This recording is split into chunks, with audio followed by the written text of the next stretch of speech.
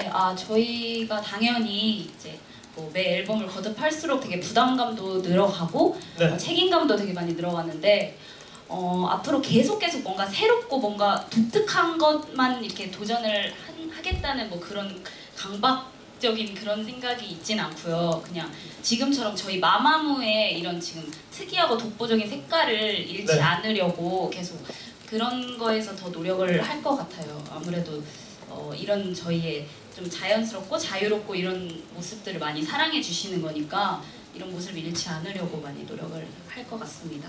네, 그렇습니다.